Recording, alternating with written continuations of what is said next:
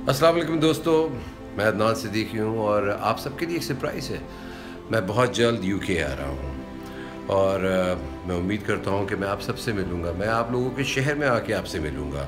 मैं लंदन में होऊँगा बर्मिंगम में होऊँगा मैनचेस्टर में होऊँगा ब्रेडफोर्ड में होऊँगा और न्यू कैसल में होऊँगा।